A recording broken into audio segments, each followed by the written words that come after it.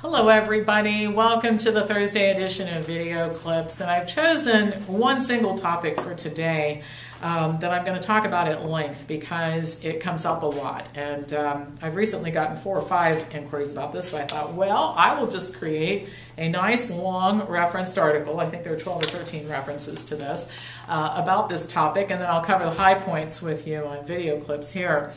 All right, so it concerns vitamin K shots at birth. The Centers for Disease Control and the American Academy of Pediatrics both recommend that all newborns be given a vitamin K shot shortly after birth. The practice has been routine since 1961, and the reason for it is to prevent or slow a rare problem, which is bleeding into the brain. The bleeding can even can start within a few hours. That's called very early vitamin K deficiency bleeding disorder, or it can begin several weeks later. Now, one of the main roles of vitamin K is blood clotting. Humans generally get their vitamin K from food. Principal source is leafy green vegetables. The body will synthesize vitamin K in the gut microbiome. And then, of course, the vitamin K in the shot is a little bit different synthetic. The Centers for Disease Control states that parents who refuse the shot do so because they're misinformed about the issue, and they urge healthcare professionals to, quote, talk to expectant parents about the benefits of a single vitamin K shot after birth before, in uh, bold print, they get to the delivery room, end of quote. The argument for vitamin K shots shortly after birth is that babies are born with low vitamin K levels, and according to the CDC, newborns have no bacteria in their intestines. The CDC states on their website it takes, quote, weeks to months for the infant's sterile gut to become established and functional. The agency argues that this means without the vitamin K shot, all infants are at high risk for vitamin K deficiency bleeding. Now, the CDC does acknowledge on this same website page where I got this information that infants whose mothers took medications that interfere with vitamin K metabolism, such as anticonvulsants, anti-tuberculosis drugs, warfarin, barbiturates, are at higher risk of early vitamin K bleeding disorder, which can start a few hours after birth. Another cause of bleeding is liver disease, which can remain undetected until the onset of bleeding. Infants who are exposed to drugs or alcohol during the mother's pregnancy or breastfeeding are at higher risk for some type of liver damage. Classic vitamin K deficiency bleeding is also more likely in infants who are ill or have and or have feeding problems. The CDC says that infants who do not get the shot at birth have an 81 times greater incidence or risk of developing early vitamin K deficiency bleeding than women who get the shot, and that the incidence falls to less than 1 in 100,000 if parents will give their children the shot. Now, bleeding into the brain occurs between three and seven weeks after birth. The incidence for infants who don't get the injections, 5 in 100,000. 40% of those infants suffer some type of permanent disability or die. 90% of the affected infants are breastfed, and the reason why the incidence is lower in formula fed infants is that formula is fortified with very high amounts of vitamin K. Now, with all of that, you might be thinking, well, this is a slam dunk, all right? But I'm going to give you some other um, things to think about here. The first thing I'm going to start with is that the CDC states its estimate of risk reduction in relative rather than absolute terms, which makes the benefits seem significantly greater than they really are. The incidence of bleeding into the brain is 5 per 100,000 infants who don't get the shot, 1 in 100,000 for infants who do. The CDC says 81% drop.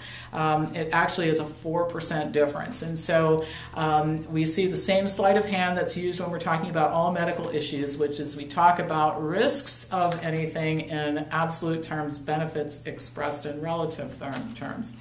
Preventive strategies commonly recommended to women include supplementation during pregnancy, uh, but the supplementation doesn't change the vitamin K status of the fetus. Um, now, why are so many parents saying no to this? Uh, why does the CDC have all this strong language about how misinformed parents are? Well, here's the deal. The fetus naturally has low levels of vitamin K and other clotting factors. Just before birth, for a full-term fetus, two key clotting factors increase, but not vitamin K. Now, there's a reason for this. The body maintains very tight controls on vitamin K levels, particularly during fetal development, in order to control the rate of cell division. High levels of vitamin K can cause uncontrolled cell division, leading to cancer. Now, prophylactic vitamin K shots do lower the number of bleeding episodes, but the practice increases the risk of leukemia. While not all studies have shown an increased risk, several well controlled studies have, and the increased risk is estimated to be between 10 and 20 percent. One study concluded, and I'm going to read this to you because it's important it is not possible on the basis of currently published evidence to refute the suggestion that neonatal intramuscular vitamin K administration increases the risk of early childhood leukemia.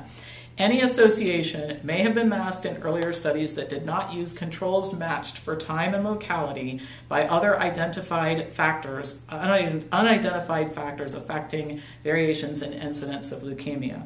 Another study concluded that vitamin K shots should be used only for babies at particularly high risk of vitamin K deficiency bleeding, and that a lower dose than that recommended should be considered. All right, so now you're seeing the other side of the story. Breastfeeding results in very gradual increases in vitamin K levels, and healthy breastfed infants don't have bleeding episodes even if they are not given supplements. So, nature's plan is for vitamin K levels to be low in infants, whereas the CDC and the American Academy of Pediatrics make it seem like these naturally low levels of vitamin K are actually some form of pathology that needs to be treated. The bottom line is that there are 1.5 extra cases of leukemia per 100,000 children who are given vitamin K injections and one and five additional bleeding episodes or deaths per 100,000 infants who are not given the injections. Now, the risk of bleeding episodes is higher for babies exposed to drugs or alcohol, whose mothers took medications, who have feeding, delayed feeding, or feeding disorders. So it can be argued that the risk is even lower for babies who don't have these risk factors, which leads some parents to conclude that the risk benefit analysis leans more toward saying no to the shot.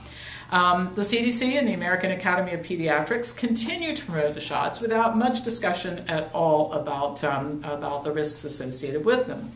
Additionally, the CDC's promotional information contains errors, including the statement that the newborn's gut is sterile and that it takes several weeks for the baby to acquire some bacteria uh, to become, or for the baby's gut to be colonized with bacteria. The truth is, and what facts show, is that uh, during pregnancy, babies actually begin to acquire some bacteria from the placenta. There are 300 different varieties of bacteria in the placenta, which have been found in the intestines and mouths of babies. Additionally, babies acquire, those that are vaginally born, acquire bacteria as they come through the birth canal. And uh, during the third trimester, in preparation for this, the bacterial population actually increases in the vagina. Uh, within one week, stable bacteria flora is established, and it's even better and stronger if the baby is breastfed. So, the statement about being bacterial bacterially sterile at birth is absolutely incorrect. Another consideration is reactions to the shot itself. Now, the information on the website is a little frightening. I'm not going to read it all to you, but the package insert for the uh, vitamin K shot includes this statement, quote, Severe reactions, including fatalities, have occurred during and immediately after intravenous injection of vitamin K, even when precautions have been taken to dilute it and avoid rapid infusion. Several severe reactions, including fatalities, have also been reported following intramuscular administration. So that's one thing. Um, the insert says that the vitamin K is virtually devoid, devoid of pharmacodynamic activity except in humans and animals deficient in vitamin K. The ingredients listed include polyoxyl 35 castor oil, dextrose monohydrate, water, benzyl alcohol, hydrochloric acid. Some of the warnings include statements such as benzyl alcohol as a preservative has been associated with toxicity in newborns, and benzyl alcohol has been reported to be associated with fatal gasping syndrome in premature infants. Um, I won't go on and read all of this to you, but obviously these are causes for concern.